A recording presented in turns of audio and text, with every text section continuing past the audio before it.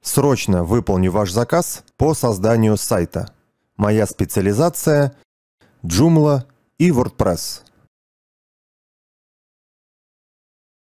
Здравствуйте, поклонники Joomla.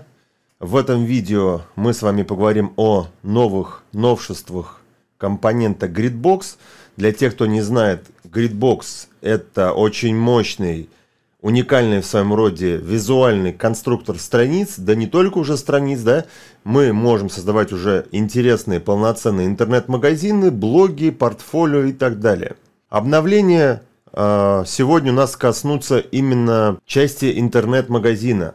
И обновление достаточно крутое для творческих людей, скажем так. Кто занимается, например, ретушью фотографий, кто занимается какими-то обработками цифровыми, какие-то создания каких-то открыток и так далее. И я думаю, здесь можно найти множество применений. То есть вы создаете магазин, у клиента есть возможность к товару загрузить файл-исходник, например, фотографию для ретуши. Для тех, кто не знает, это, например, улучшение фотографии, убирание с фотографии там морщин, прыщей и вообще в целом улучшение фотографии. Например, если вы этим занимаетесь, да, то человек теперь сможет загрузить исходники прямо к товару, и от количества загружаемых файлов может меняться цена. Например, вам надо отредактировать не одну фотографию, а больше. Естественно, это больше работы, значит, и больше заплатить за работу а, исполнителю э, нужно будет. И это очень крутая опция, далеко не во всех магазинах есть такие возможности, но теперь в Gridbox это есть. И давайте в этом видео посмотрим это нововведение, как его подключить, как его настроить. Меня зовут Федор Васильев и подробности в этом видео. Давайте работу опций мы с вами посмотрим на моем тестовом сайте, но прежде чем мы приступим к рассмотрению нововведений Gridbox, несколько слов об автоматических обновлениях сейчас э, в наше время – во времена всевозможных санкций и так далее. Мне уже неоднократно писали, почему у меня там не обновляется то или иное. Вы должны понимать, что сейчас пока что у нас есть возможность обновиться только в ручном режиме. Новую опцию вы сможете в Gridbox посмотреть. Вот смотрите, у меня сейчас на момент записи последняя актуальная версия Gridbox. Это 2.12.12. 12. И здесь у меня даже не сигнализировал, что надо обновиться. То есть вы должны при своей активной учетной записи Gridbox со страницы загрузок Gridbox э, скачать к себе на компьютер архив и в ручном режиме просто установить поверх э, на старую версию Gridbox или если это новая установка Gridbox, также как обычное любое другое расширение устанавливается. Да? Давайте я быстро покажу для тех, кто не знает, для Joomla 4. То есть вы переходите вот панель управления –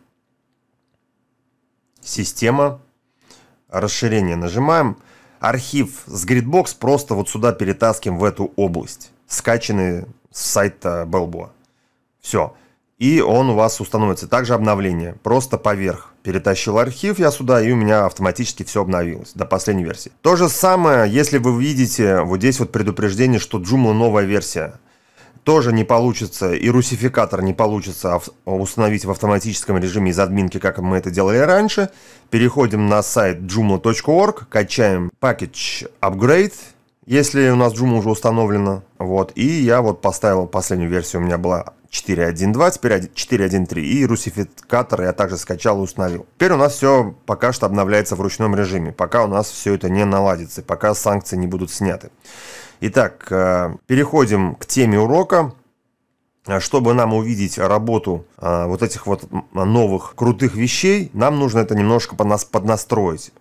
А, для этого я перехожу к компоненты Gridbox. Здесь я сверну немножечко панель Joomla, чтобы э, большая часть настроек попадала, так скажем, в экран. Сначала нужно перейти в магазин, дальше опции товаров. И нам нужно вот здесь вот создать новый элемент. Вот он у меня здесь появился, я на него кликаю мышкой, и вот здесь вот нужно обязательно внизу выбрать, видите, новую опцию Upgrade Files. Здесь можно как-то назвать для себя.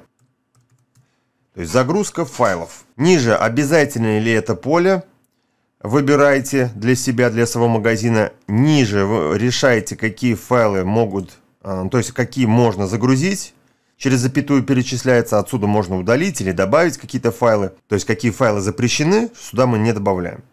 Дальше мы решаем допустимый размер файлов в килобайтах. По умолчанию у меня стоит 2000 килобайт. И ниже у нас здесь есть опции. Пока что они на английском языке, но позже, я думаю, перевод к нам завезут. Давайте переведем. Я скопировал.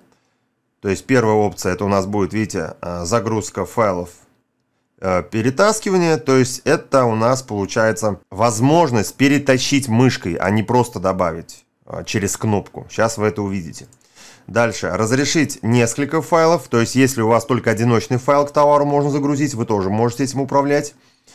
Здесь получается, если вы включаете ползунок, появляется дополнительный OPA Max Number Files. То есть получается, что вы можете указать только две фотографии к одному, к одной единице товара можно загружать. Например, две фотографии. Это может быть 3, 10 фотографий и так далее. Для примера я оставлю две. Здесь у нас просто переключение ползунков. Да, нет, никаких дополнительных полей у нас не появляется. Когда изменения настроили, не забудьте нажать на галочку вот сюда «Сохранить». Все, изменения сохранились. Следующее, что нам нужно, чтобы хотя бы вообще протестировать, как это работает, перейти в товары. У меня здесь есть также тестовые товары. Это у меня приложение. Это у меня магазин. Например, вот у меня есть тестовый товар. Я просто за него, а, в него захожу в режиме редактирования. И чтобы увидеть новую опцию в действии, мне нужно вот здесь вот внизу, где опции – дополнительная опция. Видите, появилась здесь возможность при загрузке файлов. Кликаю. И здесь я решаю, у меня пока что стоит значок евро, ну просто это тестовый магазин. Это может быть и рубли, и доллары, все что угодно. Цена. Например, вот отретушировать фотографию стоит, грубо говоря, 10 евро. Все, цену я установил.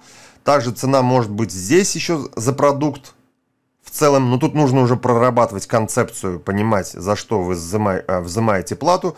Здесь я поставил просто 0, стоимость самого товара, но за ретуширование да, фотографии 10. После я нажимаю «Сохранить».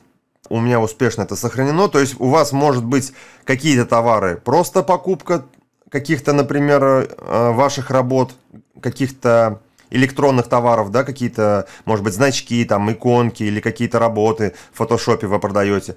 А также совместно вы можете еще брать э, заказы на, скажем, ретушь или какие-то подобные заказы. Давайте посмотрим на фронтальной части сайта. Я перейду в этот товар, где я только что внес изменения. То есть, когда вы в товаре это настроите, как сейчас я это настрою, у вас вот появляется вот здесь вот, видите, где выбрать, э, по сути, добавить в корзину, вот такой вот блок для перетаскивания. Здесь также пока что у нас на английском, но попозже, я думаю, русский завезут и будет вот эти опции на русском языке. И вот здесь тоже. Ну и на кнопке надпись. Написано, что максимальный размер 2 мегабайта. Это как раз таки то, чем мы можем тоже управлять.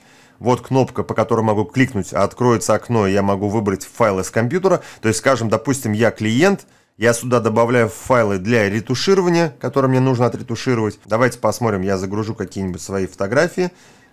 Вот смотрите, я даже могу сразу две фотографии выбрать, перенести. Смотрите, как они загружаются. Есть корзинка, если вдруг надо удалить, я ошибся, например, не ту загрузил. Также по клику сразу же прямо здесь и есть стрелочки, прям мини-галерейка, их можно отсюда просмотреть перед добавлением в корзину, да. И вот как раз-таки третью фотографию пытаюсь добавить, и выскакивает ошибка, потому что я в настройках выбрал возможность загрузки только двух фотографий. Значит, две фотографии есть.